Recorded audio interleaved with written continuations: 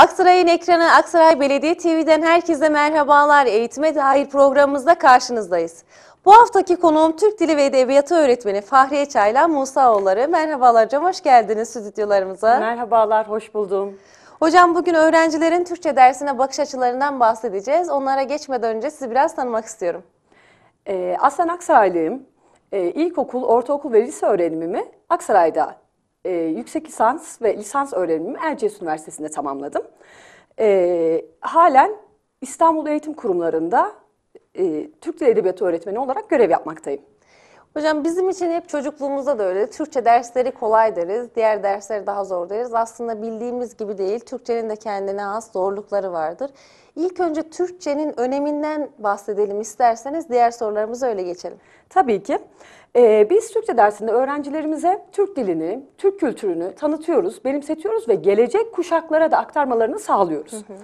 Ee, Atatürk ilke ve inkılaplarına bağlı, milli değerlerini benimseyen, e, özgüveni yüksek e, bireyler yetiştirmek için Türkçe dersini veriyoruz. E, toplumsal çevrede bireyin e, ailesiyle ya da arkadaş çevresiyle sağlıklı, e, etkili iletişim kurabilmesi hı hı. E, becerisini kazandırıyoruz. E, bütün disiplinlerin de temeli olan Türkçeyi çok iyi, etkili bir şekilde kullanmayı öğren, öğretip hı hı. E, onlara diğer derslerde de, diğer disiplinlerde de e, başarı getirmesini sağlıyoruz. Peki öğrencilerin Türkçe dersine tutumları nasıl oluyor hocam? E, dilerseniz bu sorunun cevabını ben sınav öğrencileri için e, değerlendireyim. Şimdi e, bizim sınav gruplarımızda sözel, sayısal ve eşit ağırlık olmak üzere 3 e, sınıfımız var bölümler 3 3 ana bölüme ayrılıyor.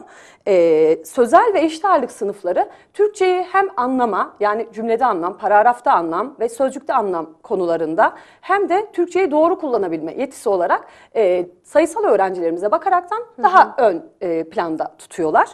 E, diğer öğrencilerimiz sayısal öğrencilerine baktığımızda ise ben zaten bunu yapabilirim e, diyerek bir boş vermişlik e, görüyoruz hı hı. öğrencilerimize ne yazık ki.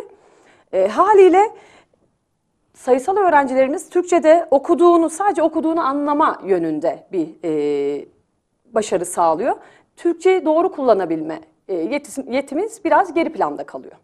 Peki Türkçe dersinde karşılaştığınız sorunlar neler? Öğrencileriniz size hangi sorunlarla geliyorlar hocam? Ee, öğrencilerimiz en başta okuduğunu anlayamıyorlar. E, bunu da kitap okumalarındaki eksiklikten kaynaklandığını hı hı. düşünüyoruz. E, soru kökünü dikkatli okuyamıyor ya da e, bir uzun bir paragraf sorusuyla karşılaştığında ben bu soruyu zaten yapamayacağım, paragraf çok uzun e, gibi söylemlerle e, karşımıza çıkıyorlar. Aynı zamanda hızlı okuyamama gibi bir e, hı hı. eksiklikleri var. Ee, imkanı olan öğrencilerimize hızlı okuma kursları açıldı. Ee, etrafımızda çok fazla bu kursta eğitim verenler var. Onlardan e, eğitim almalarını e, talep tavsiye edebiliriz, tavsiye edebiliriz. Evet, e, paragraf sorularına da uzun diyerek bırakmamaları gerektiğini hı hı. E, söyleyebilirim. Aynı zamanda hani ben e, Türkçeyi zaten günlük hayatta kullanıyorum, e, derste de yaparım diyerek önemsememeleri e, başka sorun hı hı. olarak karşımıza çıkıyor. Dersi derste öğrenip bol bol tekrar edip Türkçenin altyapısını da bilmek gerektiğini çocuklarımıza söyleyebiliriz. Peki siz ne gibi önerilerde bulunuyorsunuz? ne, ne tavsiyeler veriyorsunuz hocam? E, bu gibi sıkıntılara e, biz en başta velilere seslenerek e, çözümler sunuyoruz. Bol bol ve düzenli bir şekilde kitap okuma alışkanlığı kazandırılması gerekiyor. E, tabii burada da velilerimize büyükçe görevler düşüyor.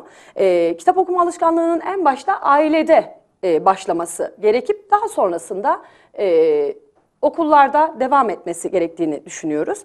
E, paragraf sorularında ise çözülemeyen paragraf soruları ya da anlaşılamayan paragraf sorularında e, öğrencinin dinç bir zihne e, sahip olması gerekiyor. Bunu da sabah saatlerinde e, çözebilirse.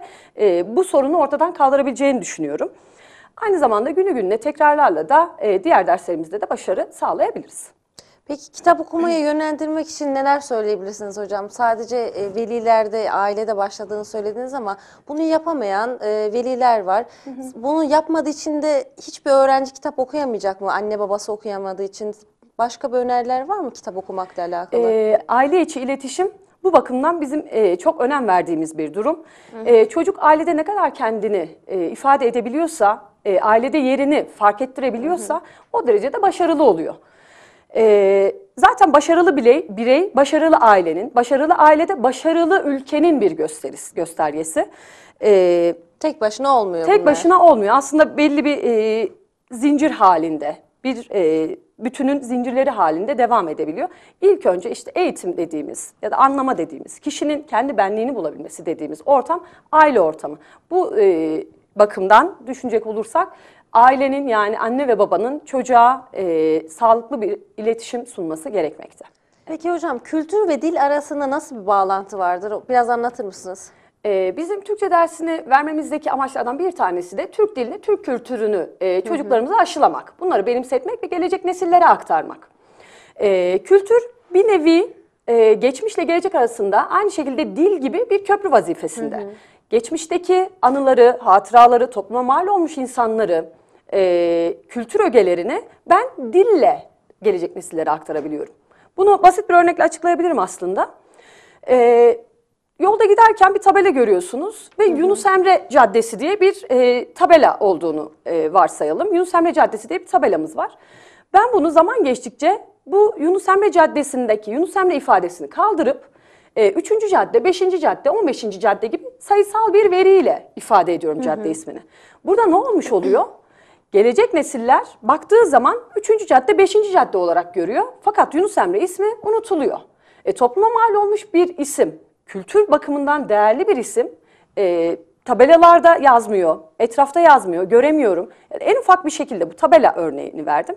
E, tabelalarda yazmıyor, görülmüyor, e, gelecek nesillere de aktarılmıyor. En azından şimdi baktığımızda Yunus Emre Caddesi, aa Yunus Emre'nin ismi verilmiş demek ki topluma mal olmuş bir insan. Hemen araştırıp bakayım Yunus Emre kimmiş diye e, bir nevi kültür e, alışverişi olmuş durumda.